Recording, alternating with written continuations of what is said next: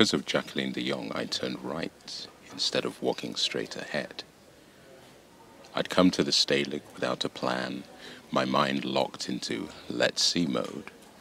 But you know how it goes. A flash of something gets my attention, and so right I turn. I begin at the end. It's a mistake, but that doesn't matter. Had I started at the beginning, the effect of these paintings would have been the same, like taking a very close look at the inner surface of the artist's mind. Once in, there's no escape. The colors and forms reach out, grab me by the belt, and say, Welcome aboard, kiddo. Who? Me? I ask. The gathering of ghosts freezes in the middle of something sad.